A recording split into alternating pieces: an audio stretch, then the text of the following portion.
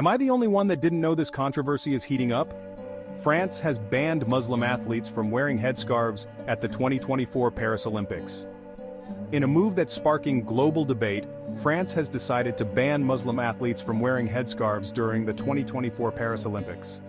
The decision is rooted in France's strict secular laws, but it's raising eyebrows everywhere.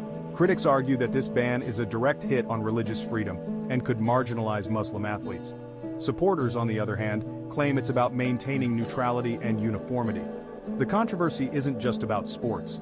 It touches on broader issues of inclusion, identity, and human rights. Athletes and fans around the world are watching closely to see how this unfolds. How will this decision impact the spirit of the Olympics? And what does it mean for the future of sports? Only time will tell. Stay tuned as we keep you updated on this developing story. What are your thoughts on the ban? Let us know in the comments below.